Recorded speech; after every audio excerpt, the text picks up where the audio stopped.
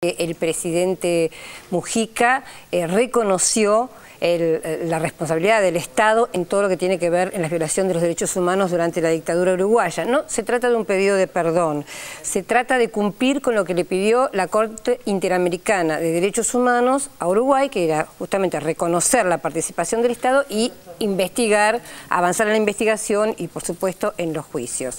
el eh, el discurso eh, fue muy emotivo. Si querés, eh, Rulo, te propongo que lo escuchemos. Entramos, sí, sí.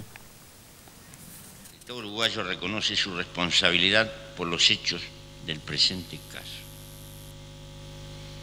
El Estado uruguayo reconoce que en el pasado se cometieron en el país acciones violatorias de los derechos humanos.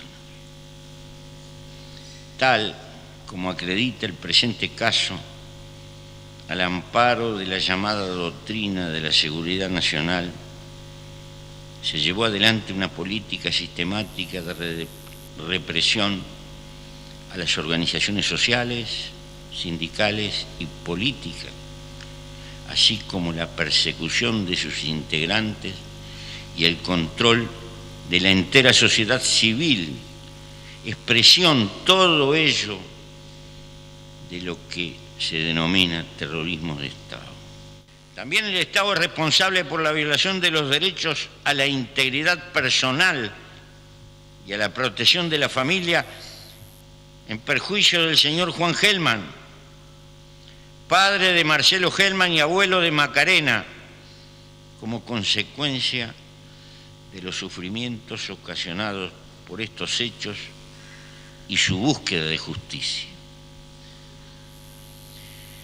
El Estado reconoce su responsabilidad por la violación a las garantías judiciales y a la protección judicial por la falta de investigación efectiva de los hechos del presente caso y el juzgamiento y sanción de los responsables en perjuicio de Juan y Macarena Gelman, como consecuencia de la interpretación y aplicación que el Estado dio a la ley de caducidad de la pretensión punitiva del Estado respecto de graves violaciones a los derechos humanos.